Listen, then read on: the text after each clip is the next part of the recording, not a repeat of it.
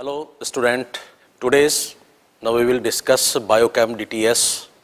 Uh, topic is digestion and respiration. और इस question में इस डीटीएस का फ़र्स्ट क्वेश्चन जो है वो डिस्कस अपन करने चल रहे हैं the primary function of large intestine in human is digestion of undigested food stuff absorption of all digested component storage of waste matter only absorption of metabolic water and uh, इस चारों option के अंदर से जो main correct answer जा रहा है, वो कौन सा जा रहा है इसके अंदर? Absorption of metabolic water yes next question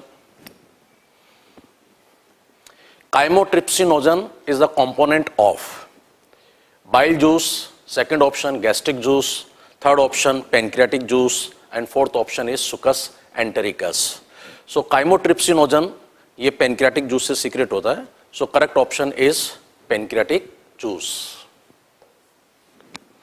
Next question. Select what is not true of intestinal villi amongst the followings. They only participate in digestion of fat. They are supplied with capillaries and the lacteal vessels. They increases the surface area. They possess microvilli.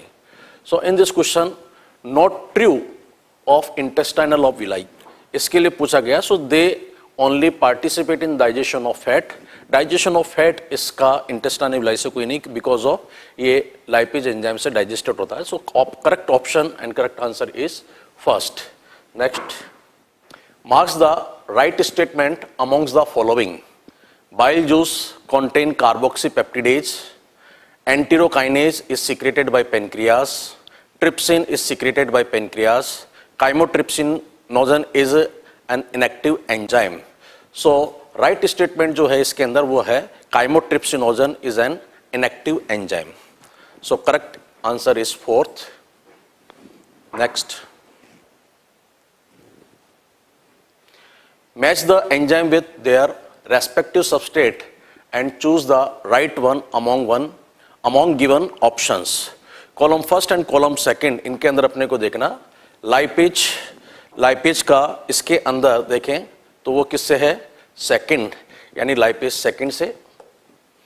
Nucleus enzyme nucleus enzyme nucleic acid के ऊपर। So B का third matching से हो रहा। Carboxy peptidase pep, protein peptone and proteases so C का fourth and डाईपेप्टिडेस ये डाईपेप्टाइड्स के ऊपर एक्ट करता है सो डी का फ़र्स्ट मैचिंग सो ओवरऑल इसके अंदर अपन देखें तो correct option is fourth Next. Which of the following sphincter guards the opening of hepatopancreatic duct into duodenum?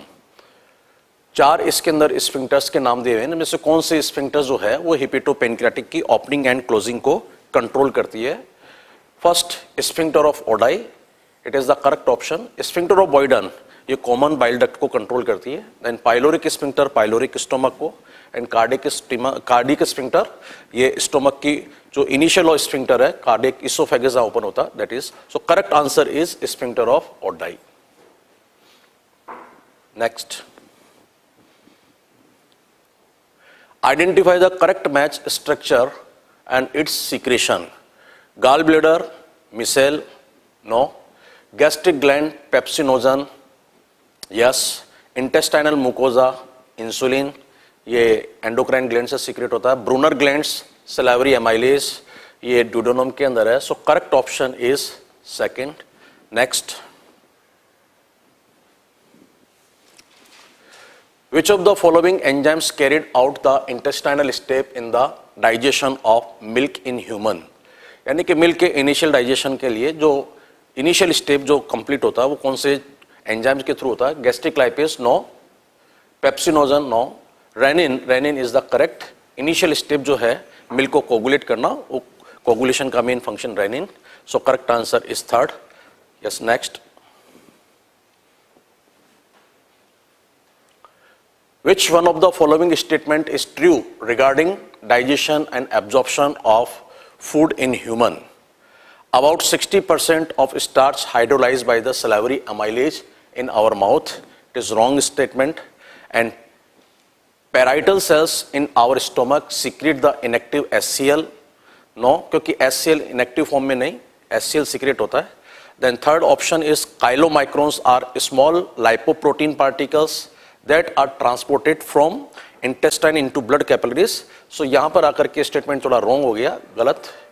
But fructose and amino acid are absorb through intestinal mucosa with the help of carrier ion like sodium ion so it is the correct option fourth next question what will be happen if the secretion of oxyntic cell of gastric gland is block with the N inhibitor?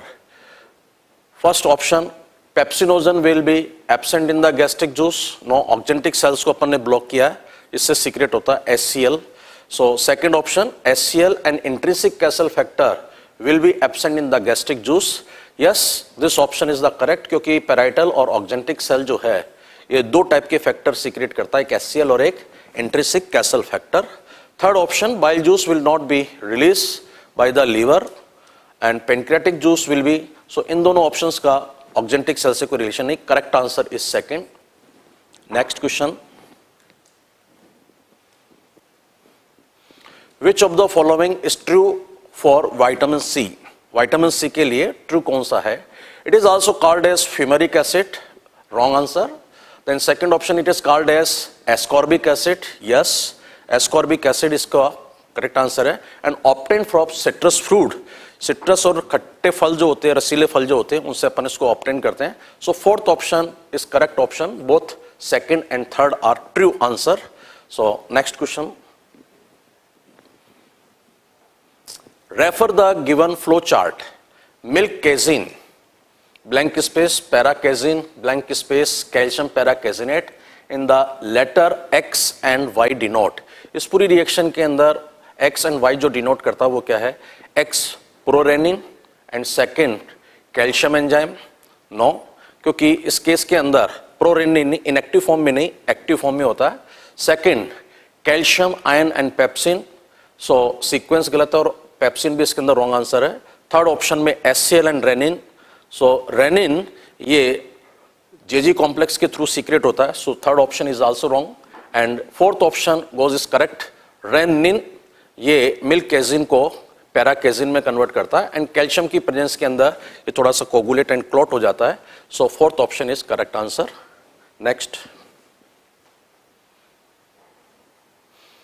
A child took sugar cane and sucked its juice. Regarding this, which of the following match is correct इस गे जो chart जो अपने को दिया हुआ है उसके अंदर जो करेक्ट ऑप्शन है वो अपने को चूज़ करना है कि एक कोई चाइल्ड है बच्चा जो इसके अंदर एक गन्ने को चूस रहा है तो उसके अंदर करेक्ट क्या है?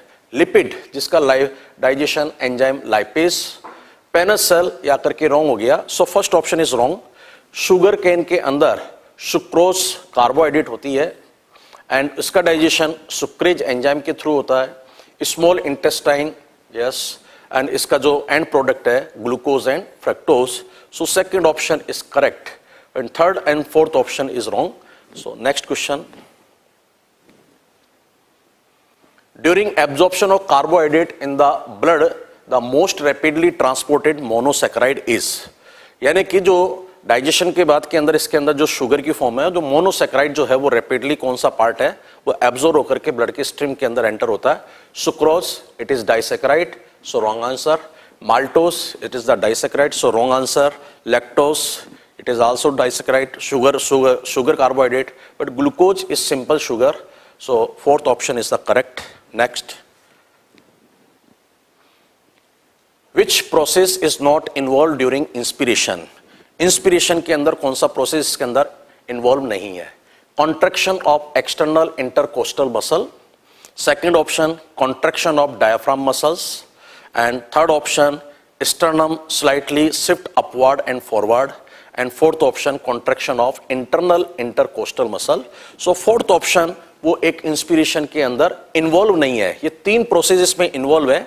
एक्सटर्नल इंटरकोस्टल मसल्स ये रिप्स को स्लाइटली अपवर्ड लिफ्ट करती है। And contraction of diaphragm muscles ये डायफ्राम का मसल्स का भी कॉन्ट्रेक्शन होता है, जिससे वॉल्यूम थोड़ा इंक्रीज होता है।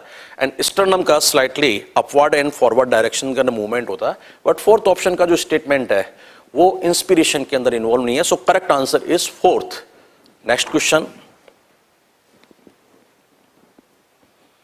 difficult breathing is known as यानी कि ब्रीदिंग के अंदर जो डिफ़िकल्ट प्रोसेस है या पेनफुल ब्रीदिंग जो है that is the apnoea apnoea is wrong dyspnoea dyspnoea and dyspnoea is the correct answer next expiration involve in expiration में कौन सा प्रोसेस या मैकेनिज्म इन्वॉल्व है?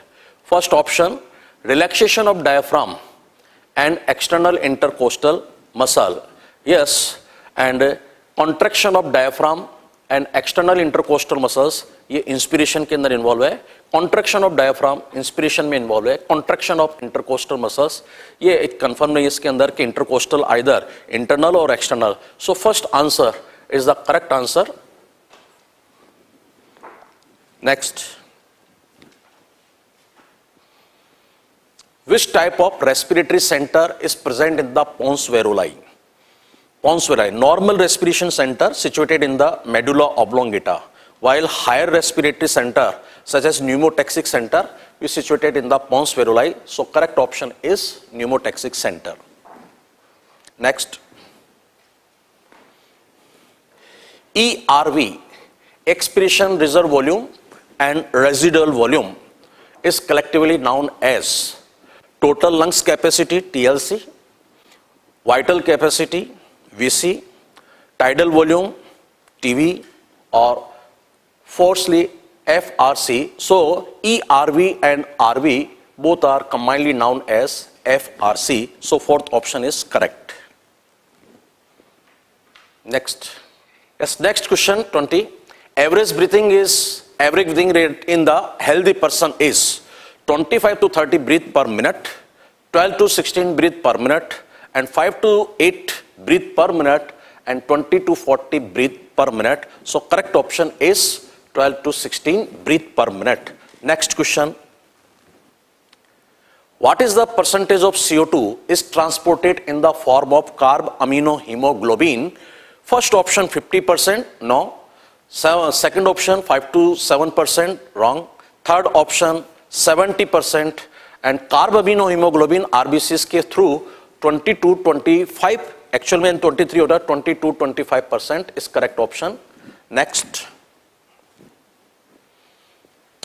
Haldane effect is due to an increase in यानी कि हेल्डन effect जो है वो किसके इंक्रीज होने पर डेवलप होता है first option CO two second option lactic acid lactic acid wrong and third option pH and fourth option oxyhaemoglobin यदि पीएच इंक्रीज होता है इट मींस अल्कलाइनिटी उसके अंदर बढ़ रही है या एसिडिक नेचर इंक्रीज हो रहा बट ऑक्सी हीमोग्लोबिन का फॉर्मेशन जैसे होता तो इसका बिहेवियर एसिडिक नेचर होता तो वो ऑक्सी हीमोग्लोबिन जो है, वो ऑक्सी मान कार्बमिनो हीमोग्लोबिन के डिसोसिएशन को और हेल्डन इफ़ेक्ट को डेवलप करता है। So correct option is fourth next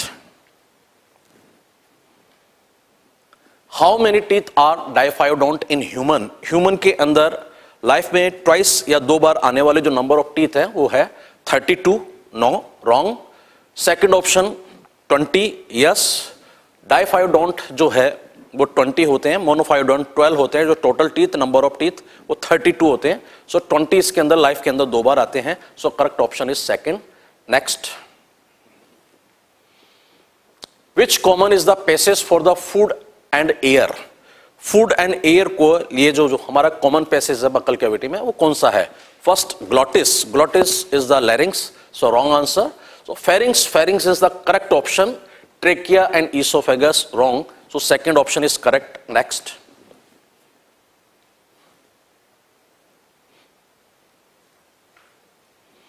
which of the following statement are true about salivary amylase salivary amylase के लिए कौन सा स्टेटमेंट इसके अंदर करेक्ट है?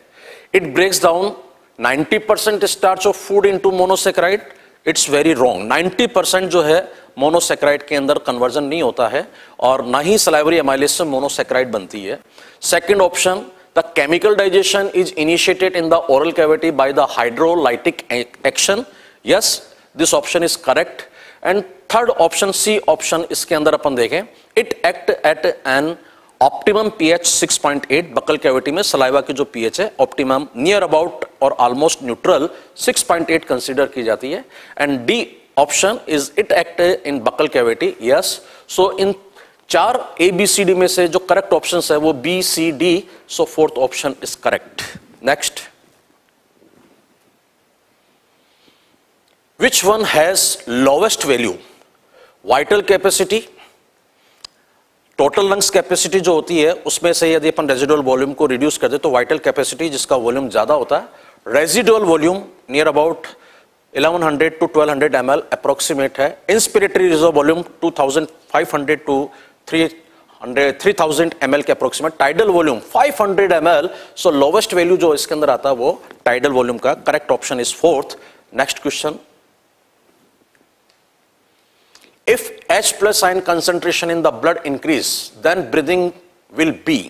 यदि ब्लड के अंदर H plus ion concentration increase हो जाती है तो इस केस के अंदर एसिडिक नेचर थोड़ा सा इंक्रीज हो जाता है। जिससे ब्रीथ जो है, हमारी ब्रीथ रेट जो है, वो इंक्रीज होने के चांसेस हो जाते हैं। So first option remain same wrong option and second first slow then fast ये भी कोई एक कंसेप्चुअल कंसेप्ट नहीं है। स्लोअर नहीं। बट एसिडिक मीडियम के अंदर ब्रीदिंग रेट फास्ट होती है, जो correct option is fourth next haemoglobin is having maximum affinity with ये जो चार ऑप्शन दिया हुआ, उसके अंदर से हीमोग्लोबिन की सबसे मैक्सिमम एफिनिटी जो है, वो किससे होगी? अमोनिया से, नहीं सीओ टू से CO carbon monoxide and O two oxygen oxygen से भी एफिनिटी है सीओ टू से भी एफिनिटी है, लेकिन CO2 से ज़्यादा एफिनिटी O2 से है बट O2 से भी ज़्यादा एफिनिटी कार्बन मोनोऑक्साइड से नियर अबाउट 200 के अप्रोक्सीमेट सो हीमोग्लोबिन की मोर एफिनिटी इन चार ऑप्शन में से carbon monoxide third option is right next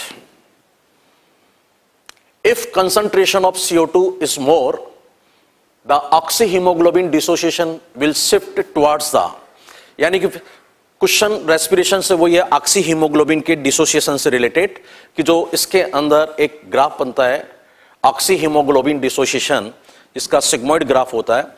तो यदि CO2 की कंसंट्रेशन ज़्यादा होती है एसिडिक नेचर इंक्रीज होता है या H plus ion concentration increase होता है तो उस केस के अंदर ये ग्राफ जो है, वो स्लाइटली राइट साइड की तरफ़ इसके अंदर शिफ्ट होता है। So correct answer is the second next the function of surfactant in the lungs to reduce the surface tension of alveoli या सर्फेक्टेंट का मेन फ़ंक्शन वो सरफेस एरिया इंक्रीज करने के लिए एलवाई को एक्सपेंड करने के लिए। maintain the stabilizing the alveoli and facilitate the lungs contraction. So correct option is the Iskandar fourth, both one and two. Next, chemosensitive area of respiratory center in medulla is affected by excess O2 and H plus ion, less CO2 and H plus ion, excess O2 and H plus ion, excess CO2 and H plus ion. So, इसके अंदर जो chemosensitive area है, वो access CO के लिए and H plus ion concentration chemoreceptors है, जिनका signal अपने हायर सेंटर्स पे जाता है। So correct option is fourth next nucleotidase enzyme is found in bile juice no bile juice में कोई एंजाइम नहीं होता। गैस्ट्रिक जूस गैस्ट्रिक जूस में न्यूक्लियोटाइडेज न्यूक्लियस एंजाइम एबसेंट है। पेनक्रियाटिक जूस पेनक्रियाटिक जूस के अंदर न्यूक्लियस एंजाइम प्रेजेंट है but nucleotidase नहीं। And nucleotidase and nucleosidase enzyme ये intestinal juice succus entericus so fourth option is correct next which of the following structure is not associated with the tongue ये चार option में से कौन सा एक स्ट्रक्चर है जो टंग से रिलेटेड नहीं है? First option palatine rugae. Yes palate पर हॉरिजेंटल पैरेलल प्रोजेक्शंस होते हैं। They are known as palatine rugae. So palatine rugae जो है, वो टंग से रिलेटेड नहीं है. लिंगुअल फेरुलनम यस टंग से रिलेटेड है. सर्कमवलिट पेपिला ये सल्कस टर्मिनलिस के क्लोज होते हैं. टेस्ट पेपिला है. सल्कस टर्मिनलिस ये ओरल टंग का टंग का जो ओरल पोर्शन है, उसका बाउंड्री है. So correct option is first next which of the following is not a protease enzyme इनमें से कौन सा एक प्रोटीज एंजाइम नहीं है? फ़र्स्ट पेप्सिन प्रोट्यूलाइटिक एंजाइम है प्रोटीज एंजाइम है। Trypsin is also protease enzyme and erepsin is also proteolytic enzyme and steapsin ये इसके अंदर नहीं है। So correct answer is fourth next which of the following is incorrect statement for human यानी इस question के अंदर ह्यूमन के रेस्पेक्ट में कौन सा ऑप्शन इनकरेक्ट है? First hepatic lobule is the structural and functional unit of liver. Yes it is the correct statement SNI of pancreas synthesize and secrete the nuclease enzyme yes it is also correct statement and salivary glands are not present in the buccal cavity yes it is also correct statement because of salivary gland buccal cavity के outside present होती है and fourth option infraorbital salivary gland are situated below the eye orbit human के अंदर infraorbital gland absent होती है so incorrect statement इस question के अंदर fourth है yes next question. Excess carbohydrate present in the balanced diet is stored in the liver of body as हमारी body के अंदर एक्सेस कार्बोहाइड्रेट जो है, वो किस फॉर्म के अंदर स्टोर होती है? First option amino acid amino acid simple form में है ये स्टोर नहीं है. Then fat fat subcutaneous adipose tissues but liver के अंदर फैट बहुत ट्रेसेस के अंदर स्टोर होती है. देन कार्बोहाइड्रेट जो एक्सेस अमाउंट में स्टोर होती है, वो glycogen and starch so glycogen के फॉर्म के अंदर, हमारे लीवर के अंदर एक्सेस कार्बोड स्टार स्टोर होती है। So correct option is third next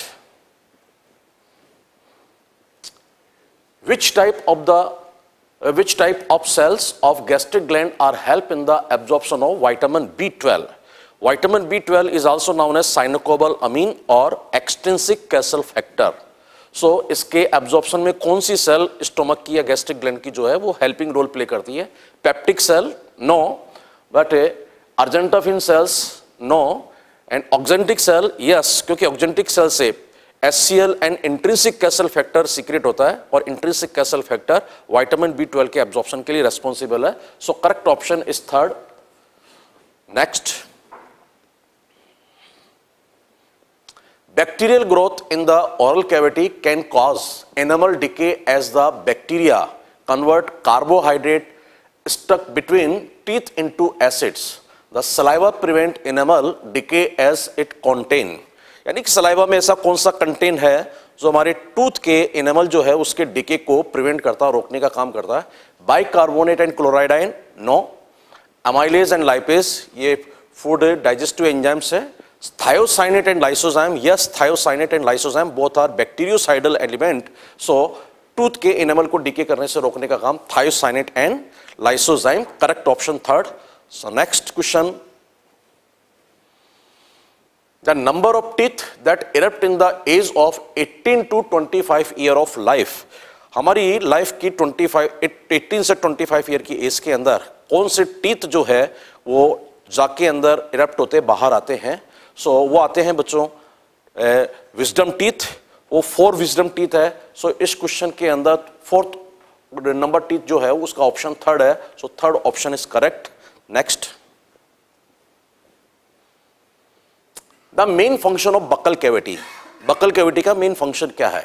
First mastication of food second absorption of food third digestion of food इन तीनों ऑप्शन में से अपन देखें तो मेन फ़ंक्शन एक होता है mastication of food and second होता है इसके अंदर swallowing of food but mastication of food वो एक मैकेनिकल डाइजेशन का भी पार्ट है. So mechanical digestion digestion of food so इस क्वेश्चन के अंदर एब्जॉर्ब सॉलोविंग ऑफ़ फ़ूड तो नहीं है but mastication and digestion of food दो ऑप्शन इसके अंदर करेक्ट जाते हैं. सो so इस क्वेश्चन के अंदर जो करेक्ट आंसर है, वो बोथ वन एंड थ्री वाला first and three so next question what is true about the function of bile bile के रेस्पेक्ट के अंदर कौन सा स्टेटमेंट जो है वो ट्रू है करेक्ट है? Help in the emulsification of fat yes इसके अंदर ग्लाइकोकोलेट एंड टारोकोलेट है ऑर्गेनिक सॉल्ट प्रेजेंट है जो फैट के इमल्सिफिकेशन में अपना रोल प्ले करते हैं. Removal of excess cholesterol from the liver bile juice जब सीक्रेट होता है उससे कोलेस्ट्रॉल भी सीक्रेट होता है तो ये एक्सेस कोलेस्ट्रॉल जो होता है वो थोड़ा सा रिमूव भी करता है. सो so, इस क्वेश्चन के अंदर करेक्ट आंसर जो आता है वो फोर्थ ऑप्शन आता है वन एंड टू क्योंकि बाइल जूस के अंदर डाइजेशन को फैट को डाइजेस्ट करने वाला कोई भी एंजाइम प्रेजेंट नहीं होता so fourth option is correct next which of the following component of blood vessel blood will increase if liver is removed from the body? यदि बॉडी से लीवर को रिमूव कर दिया जाए तो ब्लड के अंदर कौन सा कंटेंट जो है वो इंक्रीज होगा?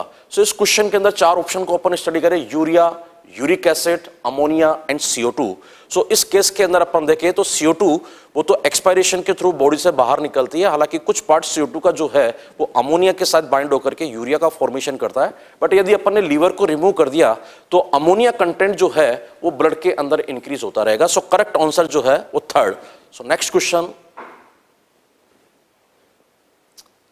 select the component present in the bile juice from the given choice.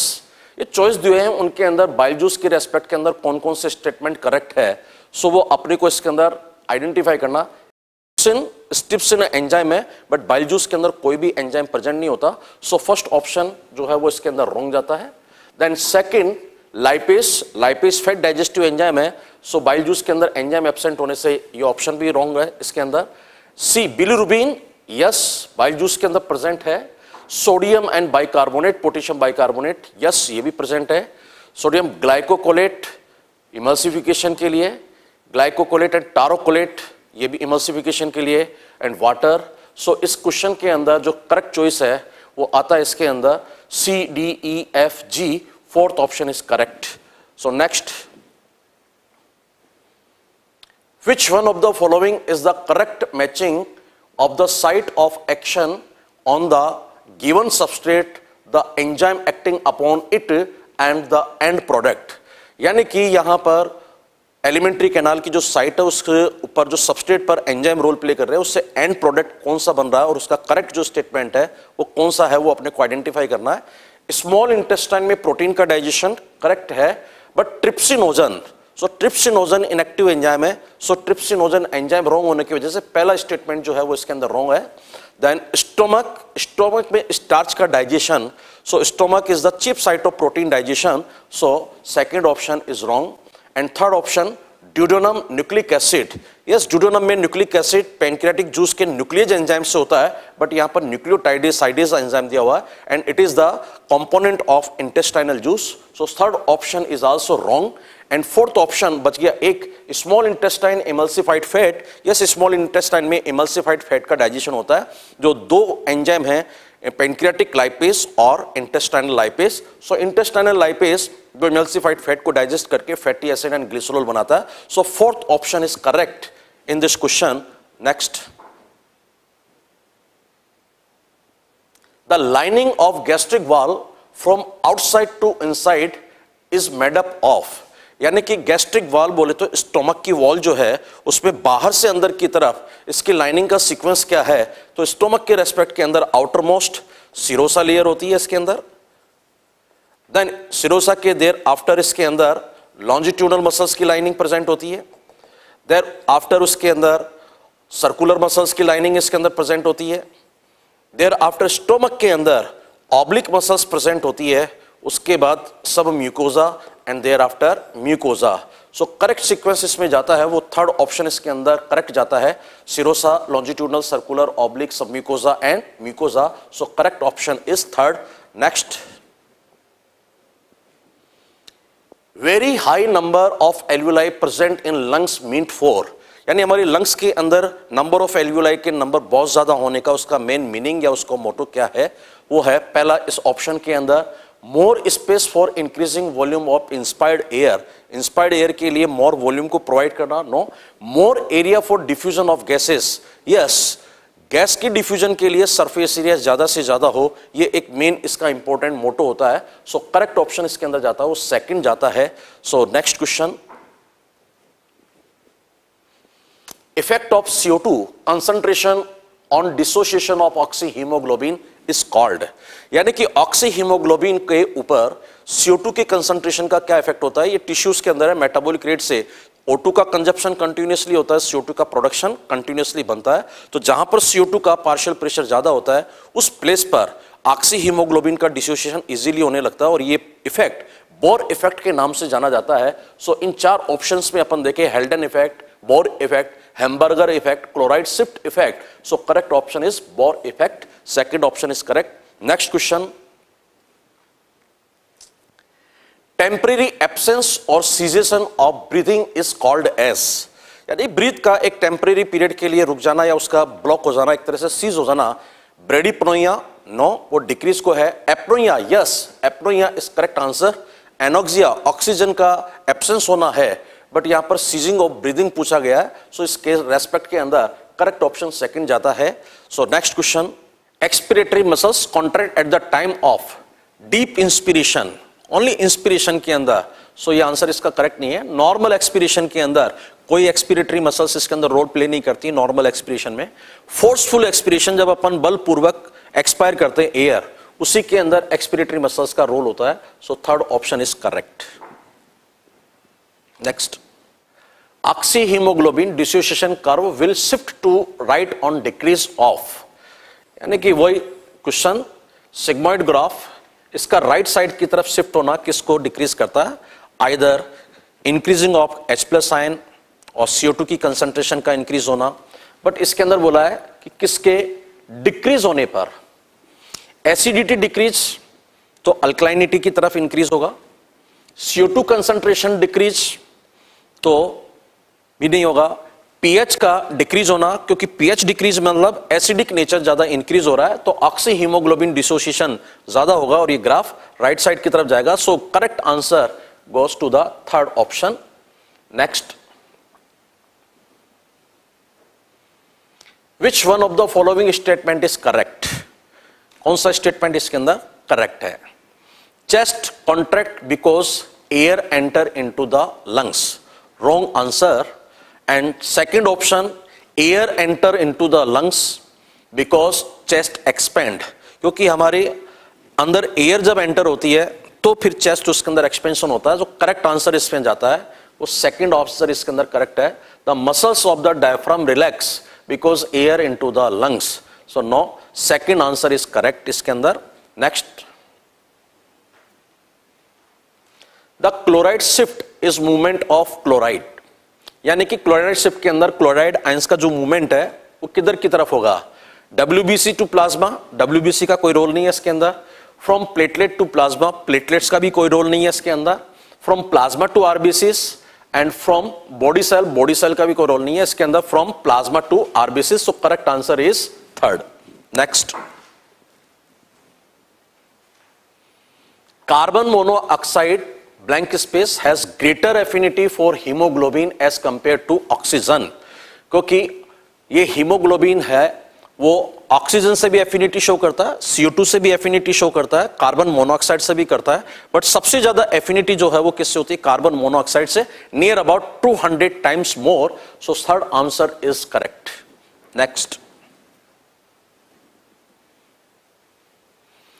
respiratory center of brain is stimulated by first carbon dioxide content in the arterial blood yes carbon dioxide content in venous blood no blood के अंदर जब CO2 की concentration rise होती है और वो blood rush करता हुआ या फ्लो करता हुआ ब्रेन में जाता है तो वेन में जाने वाला ब्लड वेनस ब्लड नहीं होता कौन सा ब्लड होता आर्टेरियल ब्लड होता है सो करेक्ट आंसर इसके अंदर जो होता है वो कौन सा है? CO2 की कंसंट्रेशन आर्टेरियल ब्लड में ज़्यादा होगी तो रेस्पिरेटरी सेंटर एक्साइट होगा। So correct answer is first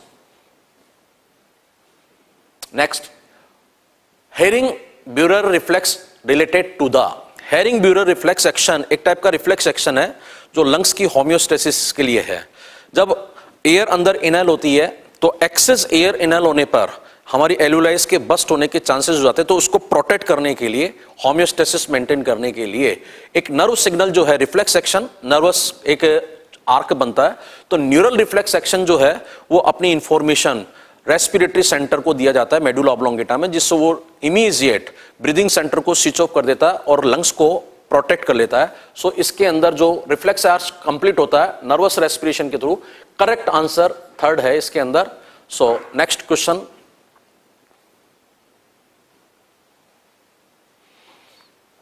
bulk of carbon dioxide released from body tissue into blood is present as carbaminohaemoglobin in RBCs बिल्कुल CO2 होता है लेकिन इसके अंदर पूछा सबसे ज़्यादा CO2 जो है वो किस फॉर्म के अंदर रिलीज़ होती है तो ये 20 टू 25 के अप्रोक्सीमेट होती है। Bicarbonate in the blood plasma yes 70 approximate जो है परसेंटेज CO2 का जो ट्रांसपोर्टेशन है और उसका रिलीज़ है, वो बाई कार्बोनेट के फॉर्म में है। So correct answer is second next hiccup is due to activity of एक हिचकी आने का जो एक मेन प्रोसेस है, वो कौन से प्रोसेस के थ्रू है? क्या intercostal muscles no food air in passes no air passes के अंदर फ़ूड अंदर कफिंग आता है हिकअप हिचकी वाला प्रोसेस नहीं। Diaphragm muscles yes diaphragm muscles के थ्रू कोई भी इरिटेशन होता है तो एक हिकअप हिचकी आने का प्रोसेस कंप्लीट होता है। Correct answer is third next one of the following constituent of pancreatic juice pour into duodenum in human is first option chymotrypsin chymotrypsin कभी भी पोर नहीं होता। काइमोट्रिप्सिनोजन के फॉर्म में है। ट्रिप्सिन ये भी इंटेस्टाइन में आने के बाद ट्रिप्सिनोजन से ट्रिप्सिन में कन्वर्ट होता है so second option is wrong and third enterokinase ये ड्यूडोनल वॉल से सीक्रेट होता है. एंड फोर्थ ऑप्शन एक ही रह गया प्रो कार्बोक्सी पेप्टिडेस यस ये पेनक्रेटिक जूस के अंदर प्रो कार्बोक्सी पेप्टिडेस इन एक्टिव फॉर्म में सिंथेसाइज होकर सीक्रेट होता है. So correct answer is fourth next Which of the following guards the opening of common bile duct into the hepatopancreatic duct?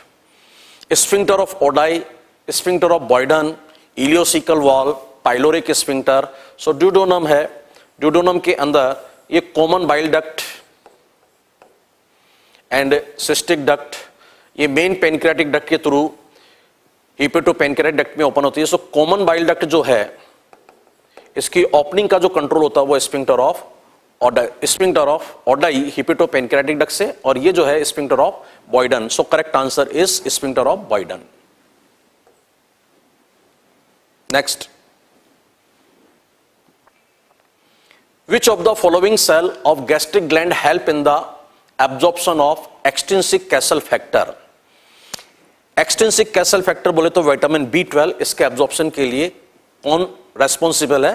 वो है parietal cell क्योंकि parietal cell क्या secrete करती है? इंट्रेंसिक कैसल फैक्टर जो vitamin B twelve extrinsic Castle factor के लिए responsible है। So correct answer is third next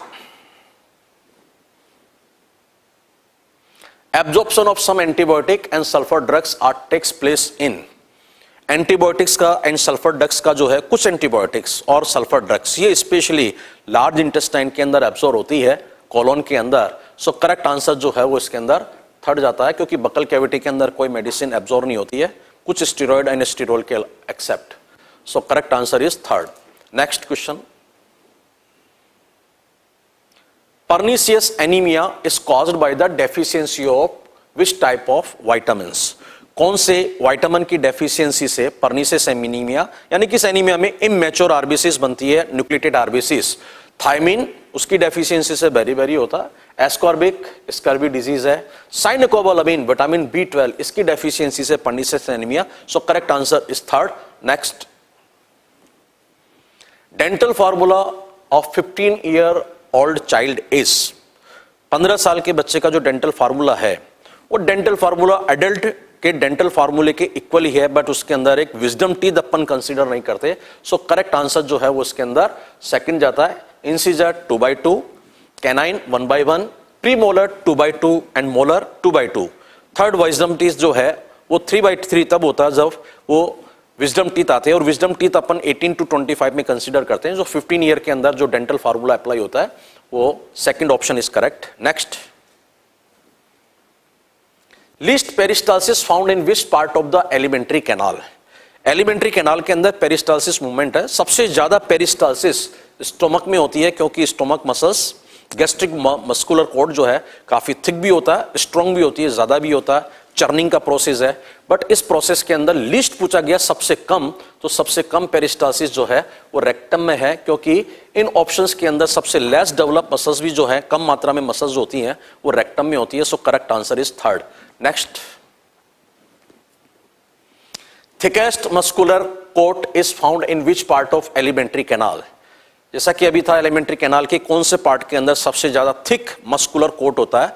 stomach क्योंकि food first of all mastication के बाद स्टोमक में एंटर होता है। देर आफ्टर वहाँ पर फ़ूड का चर्निंग करना पड़ता है। सो मैकेनिकल फोर्स ज़्यादा अप्लाई करने के लिए मसल्स के अंदर एक तो एडिशनल ऑब्लिक मसल्स होती है and strong and maximum peristalsis so thickest muscles coat जो है वो स्टोमक में है। Correct answer is second next identify the X in given reaction जो रिएक्शन दी हुई है, उसके अंदर अपने को एक्स को आइडेंटिफाई करना न्यूक्लियो प्रोटीन कौन से फैक्टर के through nucleic acid and protein के अंदर चेंज होता है? Nuclease yes nuclease enzyme nucleoprotein को डाइजेस्ट करता है बट अपने को न्यूक्लियो प्रोटीन को न्यूक्लिक एसिड में कन्वर्ट करना है। न्यूक्लियोसाइडेस ये न्यूक्लियोसाइडेस न्यूक्लियोसाइड को डाइजेस्ट करता है। न्यूक्लियोटाइडेस न्यूक्लियोटाइड को डाइजेस्ट करता है। सो न्यूक्लियो प्रोटीन को न्यूक्लिक एसिड में कन्वर्ट करने के लिए एस सी एल रेस्पॉन्सिबल है। So correct answer is fourth next which of the following is exopeptidase enzyme यानी ये एंजाइम दिए हुए उनमें से एक्सोपेप्टिडेज नेचर का एंजाइम अपने को फाइंड आउट करना है। एक्सोपेप्टिडेज एंजाइम जो आउटर पेप्टाइड बॉन्ड्स को हाइड्रोलाइज करके अमीनो एसिड एंड प्रोडक्ट के फॉर्म में डेवलप करता है। कार्बोक्सीपेप्टिडेज यस इनएक्टिव फॉर्म में सीक्रेट होता है प्रो कार्बोक्सीपेप्टिडेज जो ट्रिप्सिन की प्रेजेंस में कार्बोक्सीपेप्टिडेज में कन्वर्ट होकर पेप्टोन्स प्रोट्यूजियस को अमीनो एसिड में कन्वर्ट करता है। इलास्टेस ये एंडोपेप्टिडेज है ट्रिप्सिन एंडोपेप्टिडेज है पेप्सिन एंडोपेप्टिडेज है। So correct answer is first carboxypeptidase next which of the following structure of alimentary canal are having blind end इनमें से कौन सा पार्ट जो है, जिसके स्ट्रक्चर दिए हैं, उनमें से उनके टर्मिनल एंड पूरे ब्लाइंड में है, वो अपने को आइडेंटिफाई करना है। फ़र्स्ट कॉलन कॉलन के अंदर टर्मिनल ब्लाइंड नहीं है ओपन है। Crypts of Lieberkuhn. Yes villi के बीच के अंदर ये क्रिप्स ऑफ़ लीबर कुवन बनती है, ये टर्मिनल एंड ब्लाइंड है। सो so, इसके अंदर बी वाला ऑप्शन करेक्ट है। देन पाइलोरस स्टोमक का पाइलोरिक पार्ट है ओपन कंडीशन में ब्लाइंड नहीं है। So D option lacteals yes villi के अंदर लेक्टियल्स प्रेजेंट है, इनके टर्मिनल एंड ब्लाइंड है। So lacteal and caecum caecum के दोनों टर्मिनल एंड ब्लाइंड होते हैं। So caecum also known as blind tube so caecum भी करेक्ट इसके अंदर ऑप्शन है। Hepatic portal vein terminal end open है। सो इसके अंदर B D and E option correct है और इसके चारों में से अपन देखें तो सेकंड ऑप्शन इसका करेक्ट जाता है। Next how many percentage of RBC are saturated with the oxygen during oxygenation in the lungs lungs के अंदर ये जो आरबीसीज है, वो कितना परसेंट सेचुरेट होता है? तो लंग्स की एल्यूलाइज के अंदर से O2 जो है वो डिफ्यूज होकर के जब ब्लड में एंटर होती है O2 तो जितनी भी O2 आती है वो थ्री परसेंट जो होती है वो तो प्लाज्मा के अंदर डिजोल्व फॉर्म में होती है, बाकी 97 परसेंट जो ऑक्सीजन है वो सीधी हीमोग्लोबिन के साथ जाकर के आरबीसीज में जाकर के हीमोग्लोबिन से बाइंड होकर के ऑक्सी हीमोग्लोबिन बनाती है। सो आरबीसीज के through 97 percent so correct answer is three next at which number of thoracic vertebra of vertebral column trachea divides into primary bronchi कौन से वर्टिब्रल कॉलम जो है थॉरेक्स वाली, जिसके क्लोज से हमारी ट्रेकिया जो है वो बाइफर्केट होकर के प्राइमरी ब्रोंकाई का फॉर्मेशन करती है। So correct answer is fifth fifth thoracic vertebra के पास ये बाइफर्केट हो जाती है। Next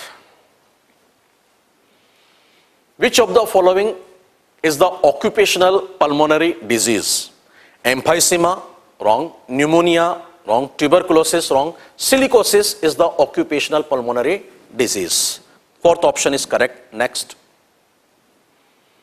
Select the incorrect statement. In traces, lipase is secreted by the gastric gland of stomach. Infraorbital salivary glands are absent in human. Yes. Starch is digested by gastric amylase of gastric gland. Yes, gastric gland से कोई gastric amylase traces में है but वो stomach के अंदर starch का कोई digestion नहीं है। सो इनकरेक्ट स्टेटमेंट जो है, वो यही है, जो ये कह रहा कि गैस्ट्रिक स्टोमक के अंदर गैस्ट्रिक ग्लैंड से गैस्ट्रिक एमाइलेज सीक्रेट होता है, जो स्टार्च को डाइजेस्ट करता है। ये स्टेटमेंट कंप्लीटली रॉन्ग है। Third answer is correct next when breast feeding is replaced by less nutritive food, low in protein and calorie are likely to suffer from यानी किसी एक इन्फेंट को या बच्चे को एक लो न्यूट्रिशनल डाइट डेफिशिएंसी जिसमें प्रोटीन एंड कैलोरी लिपिड भी है कार्बोहाइड्रेट तीनों की डेफिशिएंसी है। प्रोटीन की डेफिशिएंसी कैलोरीज बोले तो लिपिड एंड कार्बोहाइड्रेट तीनों की डेफिशिएंसी और इन तीनों डेफिशिएंसी से न्यूट्रिशनल डिसऑर्डर जो है, वो है marasmus third option is correct next small bag like of visceral peritoneum filled with fat are attached to the teeny coli are called as house direct question है anatomical है alimentary canal का tiny coli के through stomach के अंदर ये large intestine के अंदर small pouch like bags बन जाते हैं जिसको क्या बोलते हैं haustra so correct answer is fourth next hydrolyse the milk sugar give rise to यानी मिल्क शुगर को डाइजेस्ट करने के बाद या उसका हाइड्रोलाइसिस के बाद कौन से प्रोडक्ट बनते हैं?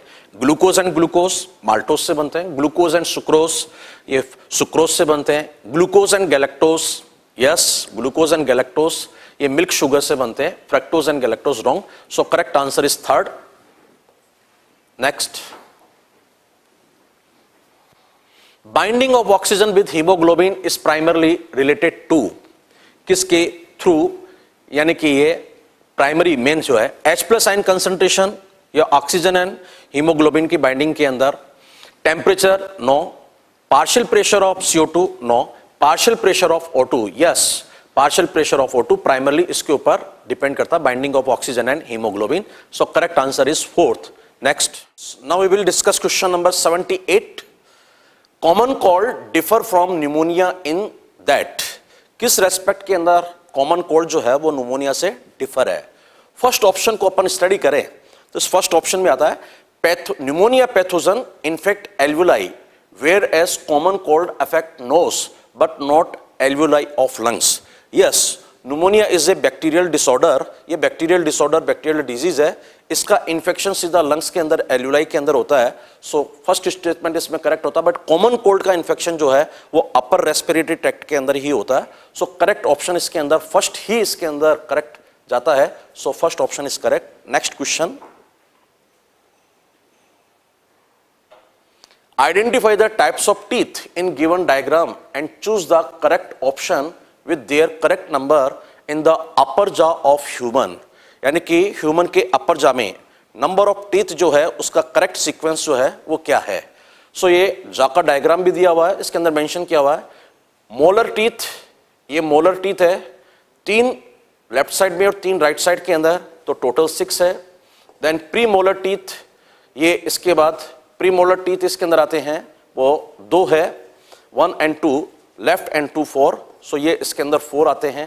कैनाइन टीथ हाफ़ जा के अंदर वन है so one and plus one two so canine जो इसके अंदर टू जाते हैं। And incisor two plus two यानी कि इंसीजर जो है वो इसके अंदर फोर्थ इसके अंदर जाते हैं। सो so, इस केस के अंदर जो करेक्ट ऑप्शन है वो ए बोले कि मोलर सिक्स बी बोले तो प्रीमोलर फोर सी बोले तो canine teeth 2 and D बोले तो incisor. So, third option is correct. Next.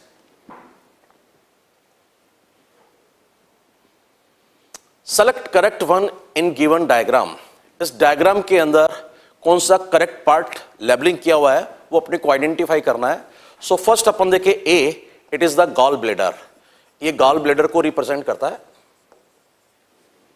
And B जो है, वो right and left hepatic duct को रिप्रेजेंट करता है सी ये सिस्टिक डक्ट को रिप्रेजेंट करता है and D common bile duct को रिप्रेजेंट करता है एंड ई e वाला पार्ट पेनक्रियास से दो डक्ट आती है main pancreatic duct and accessory pancreatic duct so E is the main pancreatic duct so correct option इसके अंदर अपन देखें A gall bladder B. Duct from liver as right and left, hepatic duct, C. cystic duct, and D. common bile duct, and E. main pancreatic duct. So correct option goes to the first option.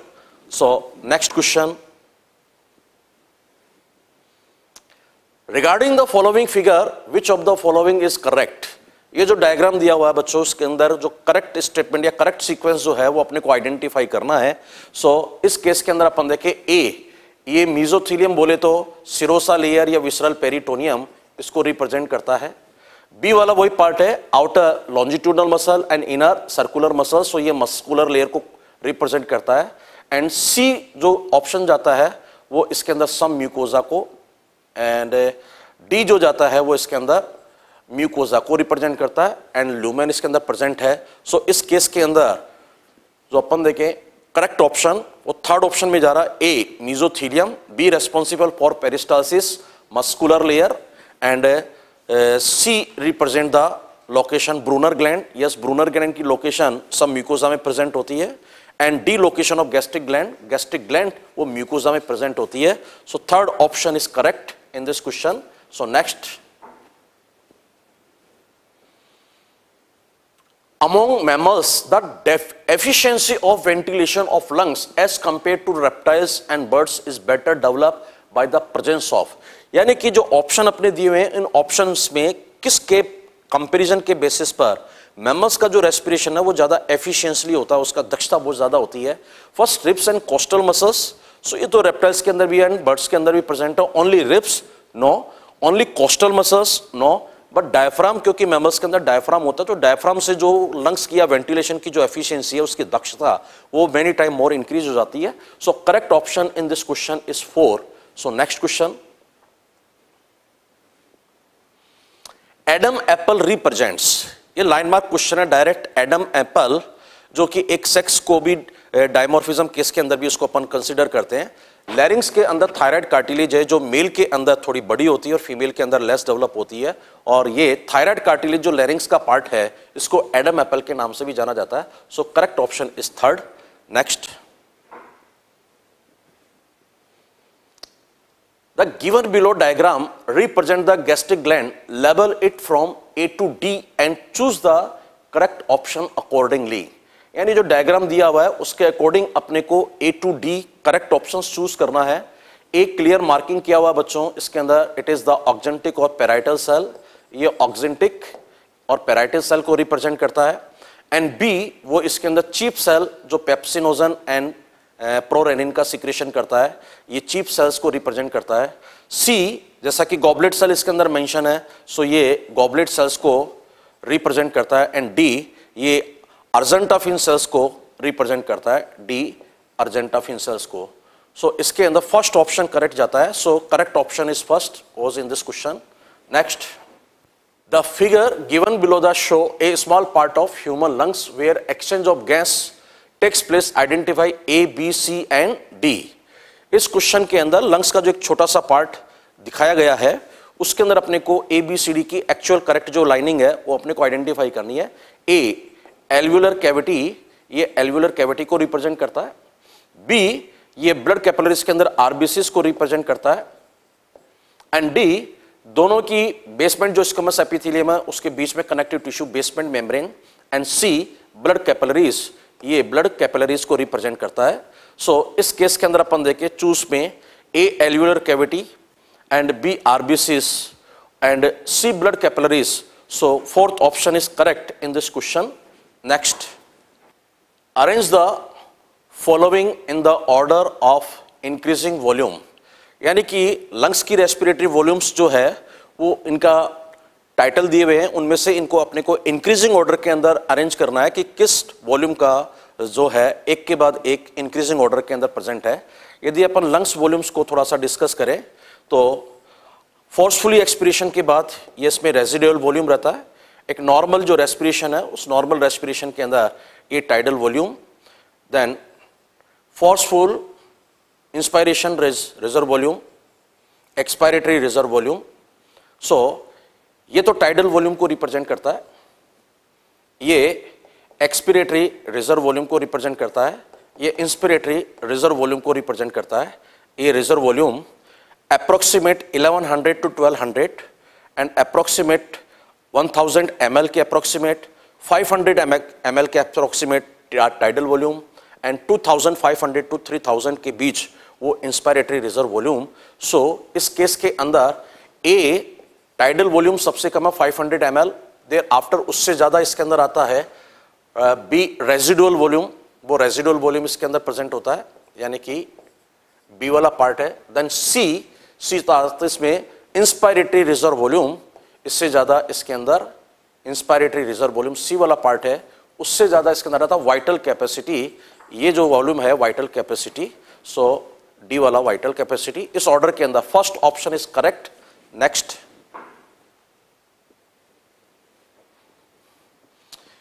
fill in the blanks by using appropriate code given below. ये एक chart दिया हुआ है gases का, इसके अंदर जो gases का वैल्यू है पार्शियल प्रेशर है वो करेक्ट अपने को आइडेंटिफाई करना है। रेस्पिरेटरी गैस ऑक्सीजन का पार्शियल प्रेशर एंड CO2 का पार्शियल प्रेशर एटमॉस्फेयर के अंदर यहाँ पर 159 O2 का पार्शियल प्रेशर है बट एटमॉस्फेयर के अंदर CO2 का पार्शियल प्रेशर जो होता है वो होता है point three M M of H G then alveoli, alveoli में O2 का partial pressure 104 mm H G but CO2 का पार्शियल प्रेशर जो होता है वो इसके अंदर 40 mm of Hg होता है सो बी के रेस्पेक्ट के अंदर 40 एंड सी जो कोड दिया हुआ है उसके अंदर ब्लड के अंदर ऑक्सीजन डीऑक्सीजनेटेड ब्लड के अंदर सी का पार्शियल प्रेशर सो उसके अंदर भी 40 M of Hg and tissues के अंदर O2 का पार्शियल प्रेशर कम होता है CO2 का पार्शियल प्रेशर ज़्यादा होता है सो so, टिश्यूज के अंदर भी O2 का पार्शियल प्रेशर 40 सो इस रेस्पेक्ट के अंदर जो ऑप्शन अपना करेक्ट जाता है वो, एक fourth option is correct in this question next the given figure show diagrammatic representation of exchange of gas gases at the alveolus and the body tissue with blood and transport of oxygen and carbon dioxide. Identify the blood vessels A to D A to D जो blood vessels है, इनको अपने को identify करना है। जो एक के अंदर अपन देखें लेफ़्ट वेंट्रिकल से ये ब्लड वेसल्स निकल करके टिश्यूज को जा रही है। So it is the systemic aorta systemic artery and B lungs से ब्लड को लेकर के ऑक्सीजनेटेड ब्लड लेकर के ये लंग्स से हार्ट की तरफ़ आ रही है। So it is the pulmonary vein and C part को अपन देखें तो ये वेंट्रिकल्स ये हर्ट से ब्लड को लेकर के लंग्स में कैरी कर रही है. So it is the pulmonary artery and D जो है वो बॉडी से ब्लड को कलेक्ट करके यानी कि ये वेना केवा को रिप्रेजेंट करती है. Vena cava posterior vena cava so so, इसके अंदर करेक्ट ऑप्शन को अपन आइडेंटिफाई करें. A systemic artery B pulmonary vein and C pulmonary artery and D systemic vein so second option is correct in this question Next. Which of the following statement is incorrect regarding given figure? ये जो diagram दिया हुआ है इसके respect के अंदर जो incorrect statement है रॉन्ग स्टेटमेंट है वो आइडेंटिफाई अपने को करना है फ़र्स्ट डायग्राम को अपन देखें तो बच्चों इसके केस के अंदर डायफ्राम डाउनवर्ड मूव कर रहा है और रिप्स जो है वो स्लाइटली रिप्स एंड स्टर्नम वो slightly forward and upward direction के अंदर मूव कर रही है सो so, थोरेसिक केस को इंक्रीज करना इंस्पिरेशन पार्ट को ये रिप्रेजेंट करता है। सो फ़र्स्ट ऑप्शन इसमें दे रहा mechanism of figure A will cause inspiration ये करेक्ट स्टेटमेंट है। और सेकंड के अंदर देखे जस्ट रिवर्स केस इसके अंदर दिया हुआ है। रिप्स का एंड स्टर्नम का slightly downward and backward movement है। एंड डायफ्राम वापिस अपने नॉर्मल पोजीशन में आ रहा थोरेसिक केस का डिक्रीज होना प्रोसेस को, यानी कि एक्सप्रेशन प्रोसेस को रिप्रेजेंट करता है। सो बी मैकेनिज्म एक्सप्रेशन को रिप्रेजेंट करता है। Ribs and sternum are raised by the intercostal muscles yes intercostal muscles के कॉन्ट्रेक्शन से रिप्स एंड स्टर्नम जो है, इन दोनों का स्लाइटली रेजिंग यानी कि ऊपर की तरफ़ उठा होता है। सो so, ये स्टेटमेंट भी इसमें करेक्ट है। Contraction of diaphragm will cause decrease in pulmonary volume यानी कि डायफ्राम के कॉन्ट्रेक्शन से तो पल्मोनरी वॉल्यूम इंक्रीज होता है डिक्रीज नहीं होता है। सो so, इसमें फोर्थ ऑप्शन रोंग है और क्वेश्चन के अंदर इनकरेक्ट स्टेटमेंट पूछा गया है। सो so, 89 के अंदर fourth answer goes so next question what is the volume of dead space air in respiratory tract हमारे बॉडी के अंदर जो रेस्पायरेटरी ट्रैक्ट है उसके दो पार्ट है upper respiratory and lower respiratory tract उसके अंदर ट्रैक्ट में पर्टिकुलर एयर का वो वॉल्यूम को आइडेंटिफाई करना है, जो गैस एक्सचेंज में अपना रोल प्ले नहीं करती, चाहे वो इंस्पिरेशन का प्रोसेस हो या एक्सपिरेशन का प्रोसेस हो, उस एयर के वॉल्यूम को अपन डेड एयर स्पेस के नाम से जानते हैं और वो अप्रोक्सीमेट 150 फिफ्टी होती है। सो इस क्वेश्चन के अंदर करेक्ट आंसर जो है वो थर्ड जाता है। Thank you all the best